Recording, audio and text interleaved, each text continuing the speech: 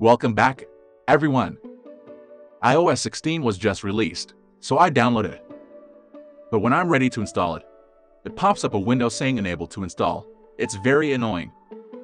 So I check it out, and I know how to fix it now. If you have the same issue, follow me. Method 1. Check storage space and force restart iPhone. The update will require extra space on your iPhone. Go to the settings page, tap General, and tap iPhone storage. Check the storage of your iPhone left. Usually, upgrade systems require more than 5 gigabytes, so make some extra room on your iPhone. You can check which app taking too much space, uninstall it or offload it, depends on you. Then force restart your iPhone. Press the volume up and press the volume down, and then press and hold the power button.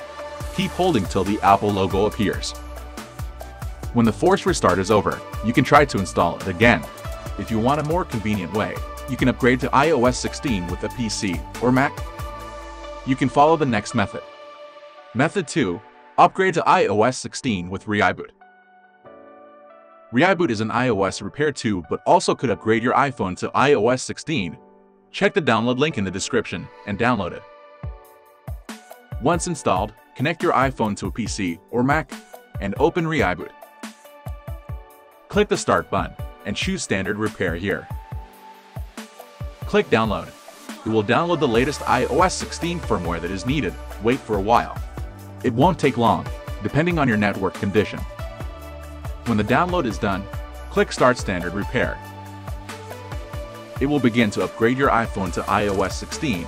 The upgrade process usually won't take a long time. Just wait for it complete. Then you can see my iPhone is upgraded to iOS 16 now. It is very simple and efficient. Go try it. Enjoy it. That's it.